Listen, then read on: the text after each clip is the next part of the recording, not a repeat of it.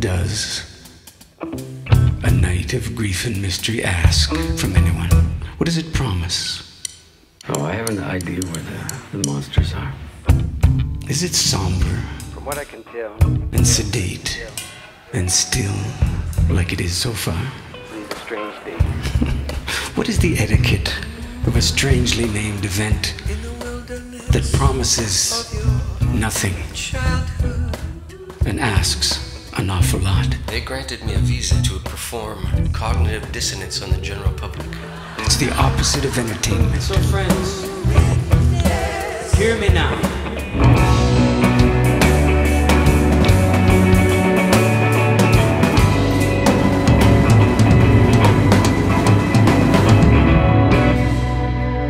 If dying doesn't change everything, you can finally love being alive. You can lose track of whether you are or not when you glimpse the end of being alive. Of course, there are regrets. And what is that? Is that a taunt? Of course. Is that a hurt? There are regrets. No, man, that's a love letter.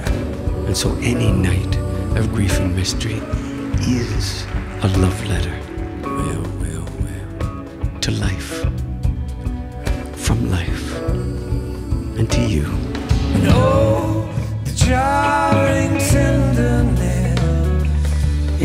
Evening that calls itself grief and mystery, it's got to have love in there somewhere. Show me from. Seeing the end of what you would hold dear and being willing to see the end of you holding it dear.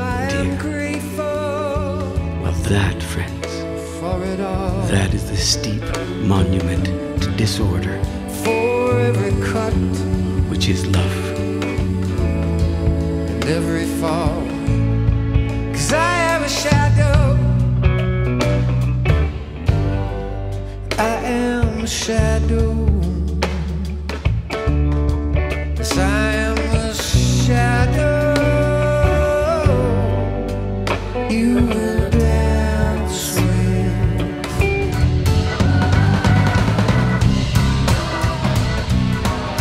Welcome, friends.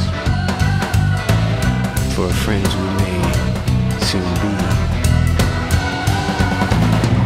Friends are forged on the dark road.